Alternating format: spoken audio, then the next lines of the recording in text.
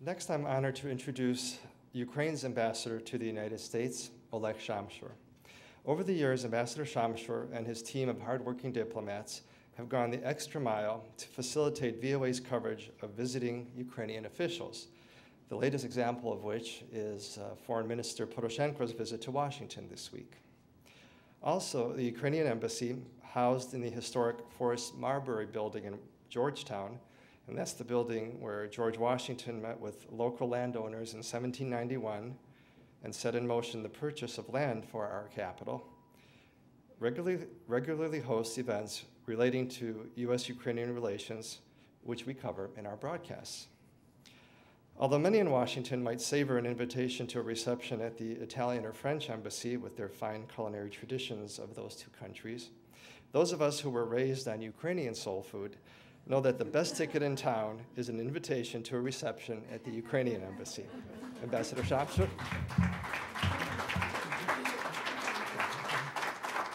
Thank you very much for this heartfelt introduction, Congresswoman, Governor, Ambassador, dear friends. So I'm extremely pleased to be here to celebrate the 60th uh, anniversary of the VOA's uh, Ukrainian service.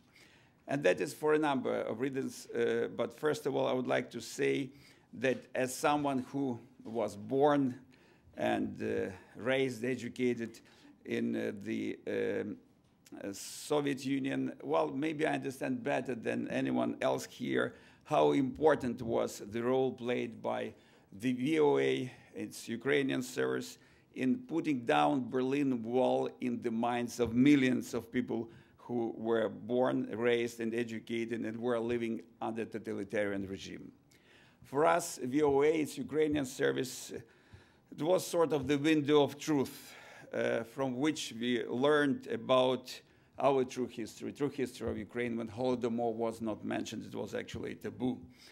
Uh, we learned the ABCs of democracy, information about uh, United States, about the world, true information which was uncensored, and definitely, we learned by bits that there was different light from a life from the one we were experienced in the Soviet Union, a life of prosperity, of democracy, of the rule of law, and it was extremely important. After independence, I think that the Voice of America, its uh, Ukrainian service, uh, is still playing, uh, has been playing a very important role um, to foster bilateral relations between our countries, uh, to foster intercultural communication, intercultural dialogue, and also promoting democratic values. Well, uh, actually, I noted that VOA Ukrainian service was created one year after the adoption of the Declaration of Human Rights.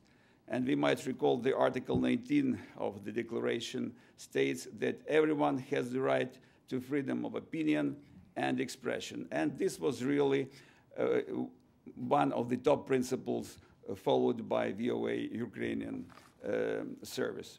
And uh, we definitely should recognize that freedom of speech has been the most important achievement of the Orange Revolution that we have been uh, celebrating recently. I'm quite convinced that no matter how serious our current political and economic challenges faced by Ukraine, Ukraine definitely has evolved since 2004 in a true democracy with very bright, uh, vibrant, very influential uh, civil society. And in my opinion, so I'm convinced of that, that is the best guarantee that all problems will be overcome and Ukraine will continue its path towards mature democracy, uh, its evolution in a strong and prosperous state, a member of the European and Euro-Atlantic communities of democratic nations. But I would like to mention, although we are celebrating the institution, uh, well, definitely it eventually boils down to people.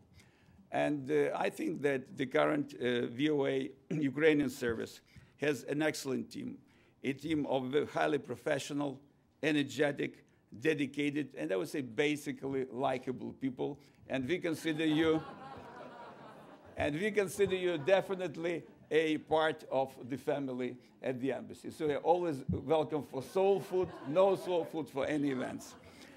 And now the most important part of my presentation, to underscore, I'll put my glasses. Uh, so I brought with me the uh, uh, congratulation from the President of Ukraine. So it was issued on 11th of December to the chief and staff members of the Voice of America Ukrainian Service. Dear friends, accept my cordial greetings on the occasion of the 60th anniversary since the first programs of the Ukrainian service of the Voice of America have been on the air. During the years of the Cold War, your voice was one of the rare mediums through which our compatriots could receive objective and truthful information about events in Ukraine and the world over. It was from the VOA programs that many Ukrainians had learned for the first time about the crimes of Stalinism, the Holodomor of 1932-1933, the traditions of the fight for freedom of the Ukrainian people, the activities of dissident human rights leaders. You have won the trust of millions of listeners with your commitment to the freedom of speech, a clear democratic positioning, and your ardent love for Ukraine. Your work has become exemplary for generations of journalists who, before and after Ukraine's uh, regained independence, have been establishing new and free mass media outlets in our country. I pay deep homage to the Ukrainian service of the Voice of America for your long-standing support of the democratic and patriotic movement in Ukraine, for your contribution into the victory over the totalitarian Soviet regime and into the revival of the Ukrainian nationhood. I wish you all good health, the best of luck, inspiration, and new creative achievements for Ukraine's benefit. Signed, Viktor Yushchenko.